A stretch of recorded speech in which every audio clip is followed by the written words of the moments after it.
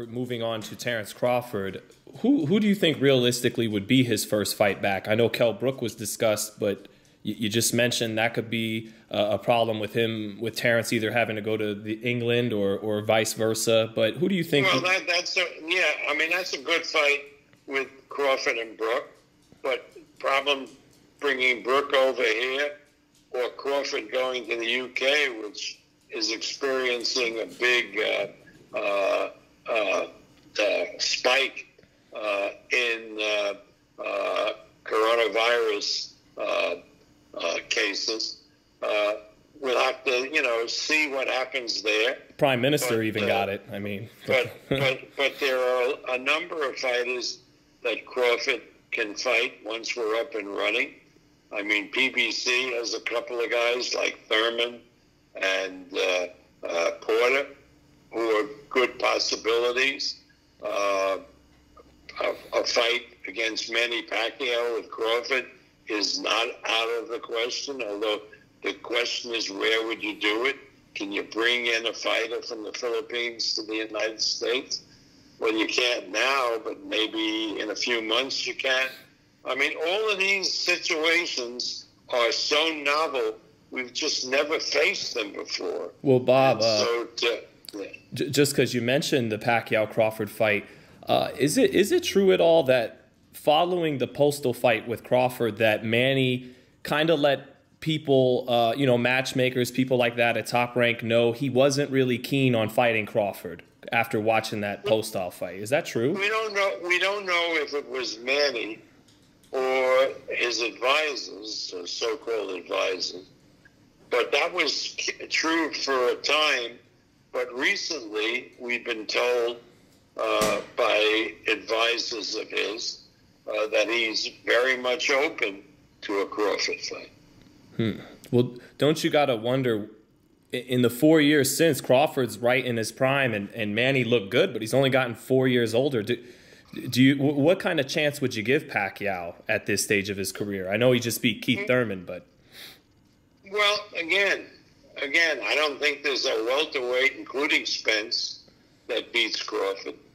We'll have to see, but you know, Manny has uh, uh, accepted challenges in his career where people said that he didn't have a chance, like in the De La Hoya fight. Mm-hmm. And he not only showed that he had a chance, but he dominated De La Hoya. This is is a young prime guy, though, Bob, as you very well know. well, we don't know. Again, again, Manny Pacquiao is a different kind of athlete. Right. Now, uh, again, uh, Pacquiao sees things in himself that other people don't see. So we'll have to, you know, we'll have to see what develops because then the question is, where do you do the fight? Right. I mean, if you have trouble getting fighters from abroad, plus cornermen, plus all the people he brings with him into the United States, and you can't do it in the United States, and certainly you wouldn't do it in the Philippines. So then the question is, is there a Mideast country that had put up money for the fight? But right now, these Mideast countries are all on lockdown uh, themselves. I mean, Mecca is closed uh, before Ramadan, you know, which is very unusual. I'm not very, which is unprecedented. Mm. Uh, so again, it's very, very hard to make concrete plans now. Uh, well, you know, one fight that was discussed on the, you know, obviously online for a moment was maybe Terence fighting Shawn Porter, but then the two of them kind of seem to agree they don't want that fight. Do you do you would you do you think that's not in Terence's best interest when you got a whole division not really willing to fight you? Do, do you kind of beggars can't be choosers kind of thing? Do you think he should he should be willing to take that, a Porter I think that you're looking at the old the old mantra.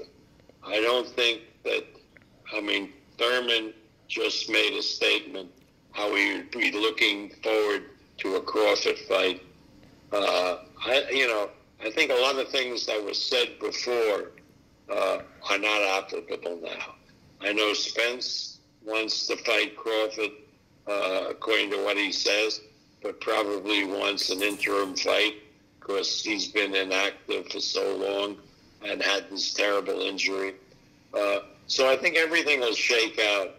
And, you know, coming off the uh, Fury Wilder second fight, where PBC and Top Rank worked so well together, that a lot of these fights that were impossible before uh, will be very makeable now.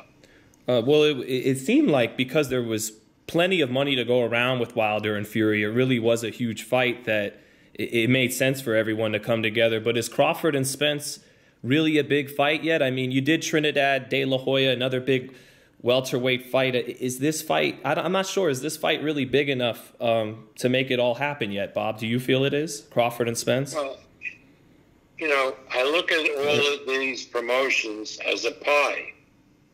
Now, sometimes the pie is enormous. Sometimes it's just big. Sometimes it's mediocre, but it's still a pie. And it's a question if you want to do the event, how you cut up the pie. It's not rocket science. In other words, it, you know, if a year ago there would be forty million dollars in a in a Crawford Spence fight, and today there's only twenty million. It's still more than each of them would get fighting other people. But uh, and I think they're as athletes, athletes want if they're really world class athletes, they want to test themselves against the best. They don't want to waste time fighting, playing against guys who are not the best. I mean, Alabama could book a schedule where they, you know, play second tier teams. But instead, they look to test themselves against the best opponents in college football. They play the, got the teams in the Southeastern Conference then they book some other teams from out of conference. And then if they're successful, they go into the playoffs and they test themselves against the best. I think athletes and teams want to do that. And I really believe uh, that uh, uh that uh, boxes are no different. They want to test themselves against the best. Absolutely, um, but absolutely, Bob. And you, but you mentioned playoffs, um, and it takes me back to when you built up De La Hoya Trinidad. You had Oscar fight Ike Quartey first. Uh, is that the kind of playoff game, the kind of fight that that maybe uh, uh, Terence would need, or one, or Spence would need to really get this fight to its potential? Maybe one of them beat Thurman, or Pacquiao or something like well, that, Bob? The problem is we've lost so much time now. Right. With this coronavirus thing that we can't uh, stage these matches in the same way we did before. Hmm. We, you know, uh, to, to match them against other top opponents and then finally have them fight each other. I mean, I mean, that's okay, but uh, but you're on a short, really, uh, really schedule uh, before people lose interest. Uh, I think um, is it possible the sport just got too used to this thing, uh, moving so slowly to make big fights? Is that? No, we all had we all had the, the time. We all had so many dates to fill. We all had uh, we all were busy uh, putting on events uh, twice a month, sometimes three times a month. And so that kept us occupied. But now that when we've had this enforced idleness, I think all of us have rethought the situation. And now we're going to want to come with as big a fights as possible by the end of the year to regenerate interest in the sport, just like every other sport will be doing. Baseball will have lost uh, most of the season, but they're going to find a way to reach the World Series. Uh, football may have a truncated uh, schedule, the NFL, but they're going to find a way to either extend the season or get it done. We're all in a situation where we have to be very clever and we have to think this out and we have to present our best foot forward to the public if we're going to compete in this environment where everybody is going to be in a rush to get back to normal. So, so in that sense, is the pandemic good? It may cause a sense of urgency for, for the fighters. Pandemic is never good. Well, it, right, and that's right, right. We, we, yeah. I mean, to say it's good, you bite your tongue. Absolutely.